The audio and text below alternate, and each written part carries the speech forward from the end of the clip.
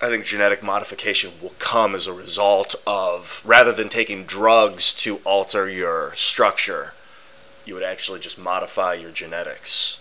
So then you would you wouldn't have to ingest drugs. But things like being resistant to radiation. They they figured out scientists at uh, I think in Berkeley, some NASA related thing or Berkeley related thing, or both It's definitely NASA related. Northern New York, there's a lab. I'll put a link to the to the site that I the thing that I read. They they realized that when the body takes radiation, uh, and the radiation passes through cells, it disrupts the DNA.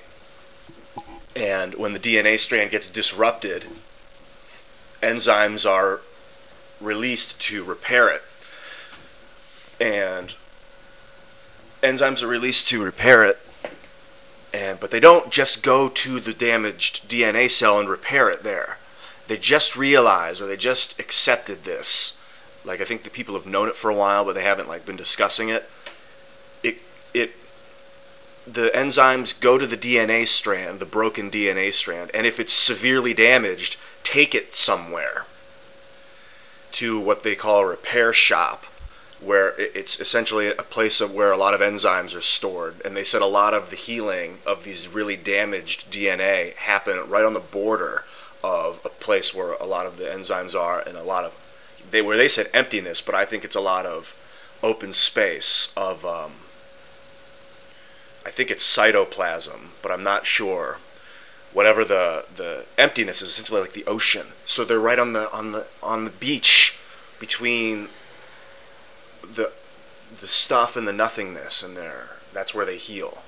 That's why people come to LA to be by the water. All this west coast stuff. Probably east coast too. Yeah. And the great lakes. Oh, i'm so american. Egocentric. There's so much other water to live by.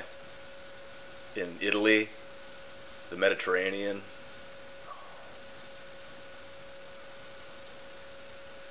Um, okay, so these enzymes take this stuff to the the other spot, and it's here that they attempt to repair these severely damaged DNA strands, and that's when things can go awry. And when you take radiation, heavy radiation, and there's a lot of broken DNA that they're taking and trying to repair, they're doing it haphazardly. It's doing it quickly because you can't have lack of DNA or the system's going to shut down. The system's going to go haywire, and you're going to shock. You'll that's when you know. So it's got to repair the DNA. So it's working so fast, and it doesn't repair it perfectly. It repairs it with errors, and that's what makes a cell become cancerous. If it doesn't repair the DNA, the cell will die. And if cells start to die, then the body will start to die.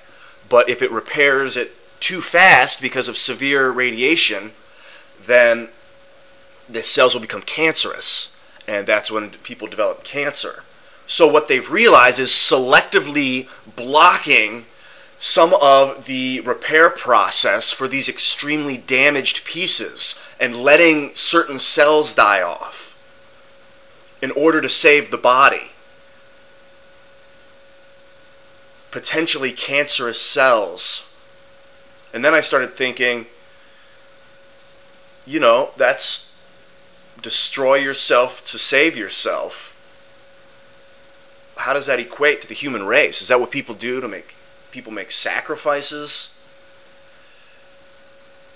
Putting the camera on yourself is a kind of a, it's a sacrifice. It's a, it's a drain it's difficult. I think that's the whole Hollywood experience. People are so excited to come out here and be an actor. Everybody wants to be an actor, and then they get here and they're at the foot of this giant doorway, and they're afraid to put a camera on them and see themselves and let themselves be seen publicly. And that's what this whole industry is about. The people that get paid the most are the people that are the most comfortable when the camera's on them. In this industry, which is why I came here, because I love the technology. I think it's so interesting and now I've gone away from the that industry, and I've just been told I've been examining myself on the video. And YouTube's given me an opportunity to do that in a public place where other people can add information to it, and it's become such an interesting building process. I love that the information is coming. I got this in a message.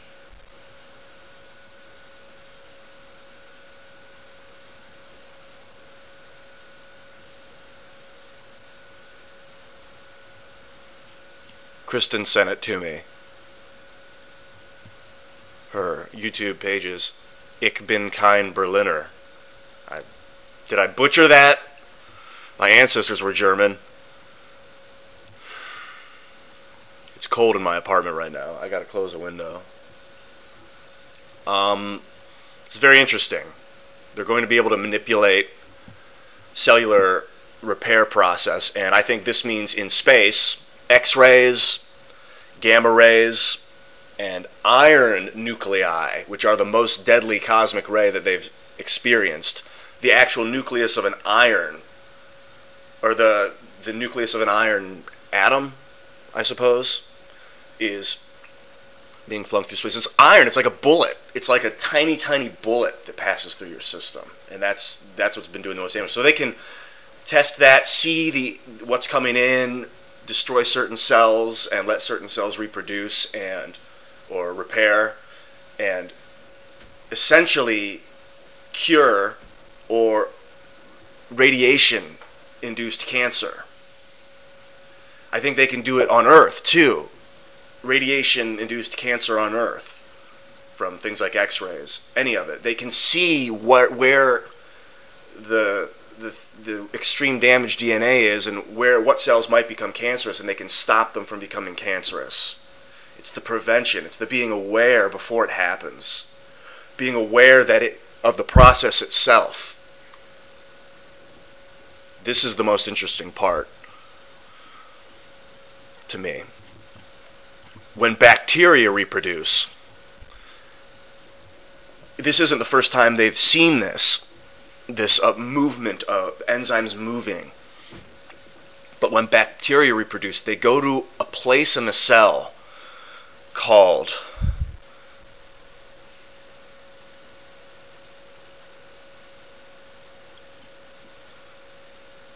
it's called the origin of replication.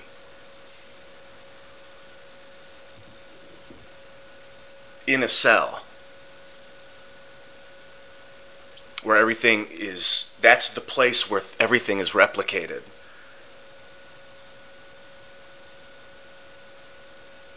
that's how bacteria reproduce duplicate their chromosomes is by passing through the origin of replication what a str-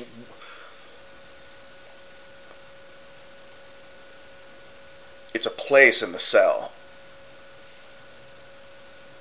Because I think that people are like cells that we equate to it. People in a society are like cells in a body.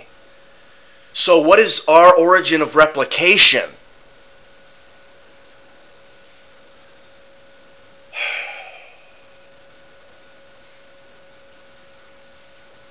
Video?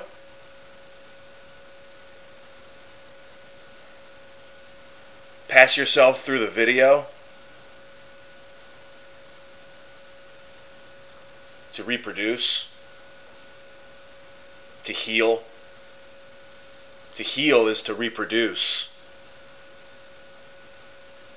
in a balanced way, to reproduce in a healthy manner, in an accurate manner, in a process that the body is capable of or accepting of handling. Not too fast the healing process is a slow thing.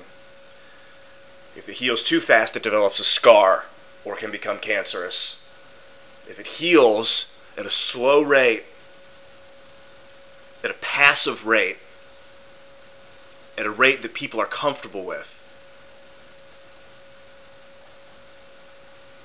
uh, all that's excess. It's, it's all, I just kept going and going. Ultimately, the healing process is slow it has to be. It can't happen explosively or things go haywire. Just like if it doesn't happen, things go haywire. So it happens slowly. We are healing ourselves